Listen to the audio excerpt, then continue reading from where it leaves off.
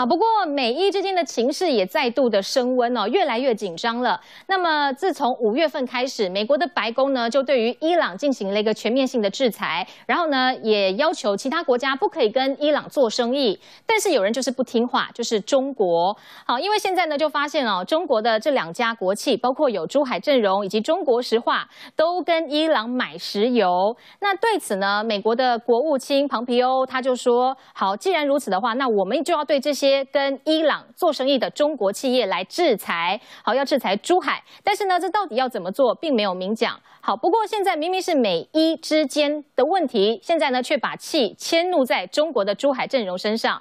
那实际上呢，其实中国确实也跟伊朗买了很多的原油。我们看看这一张，呃。图表啊，你可以看到大概有两成以上的原油哦，都是由中国所购买。那其次呢，才是欧盟、日本以及印度。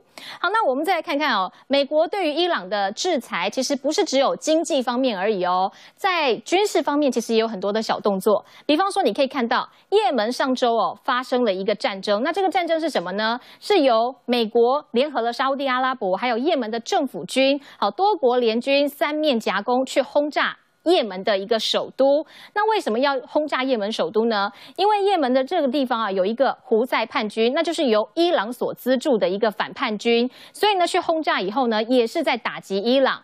那实际上啊，当天的这个。开打之后，就摧毁了五个防空导弹基地以及一个胡塞叛军的大型导弹军火库。好，那其实很多人事后都有问说，哎，当初美国就可以攻打伊拉克，为什么这一回不要直接派军攻打伊朗呢？因为伊朗其实还有握有一张王牌，这个王牌呢，就是他们拥有两千多枚各式弹道导弹。好，我们带你来看到哦，包括现在已经研发到流星五的这个导弹，它的射程好已经达到五千公里，涵盖欧美。那再来还有尼十二哦。发射非常的快速，在准备前的这个前置时期不会很久，所以可以打完就跑，然后呢避免被敌人锁定。好，所以说呢他们是有恃无恐啊，因为呢早期他们就很呃积极的在发展这个弹道导弹的部分，因此呢现在非常倒霉的就是刚刚我们看到的也门，美伊之间的战争变成了由也门当代理人，好，代理人战争就在这里开打。好，那实际上。呃，在美伊之间的问题看完之后，我们再来看看伊朗，其实也查扣了一艘英国的游轮。好，但是呢，当时伊朗有释出了一个内部的画面哦，说，哎，你看这些人质啊，我们都很人道的对待，大家都有说有笑。但真是如此吗？我们再透过画面带您来进一步的看看。画面上身穿红衣的游轮人员看似平静，正在开会，但站着的男子一句话揭开假象。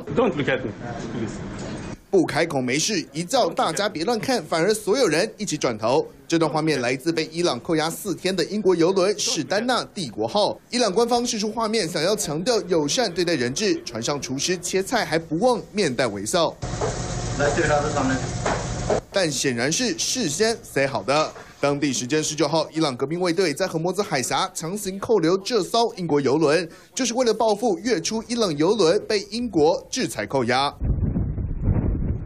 抢了他国游轮，还把船上国旗换成自家的。伊朗似乎铁了心要和西方国家作对，先扣骚英国游轮出个气。It is with a heavy heart that we are announcing this increased international presence in the Gulf。接着宣布已经抓了美国 CIA 在伊朗的十七名间谍，还表示要全部处死。但美国总统川普可不吃这套。I read a report today about uh, CIA. That's totally a false story. That's another lie. It's a religious country or religious leaders, but they lie a lot. 如今，伊朗因为国际制裁开始针对所有经过荷莫兹海峡的西方游轮，美国也因此派出五百多名美军进驻沙地阿拉伯。中东紧张情势一触即发。本新闻，注意好报道。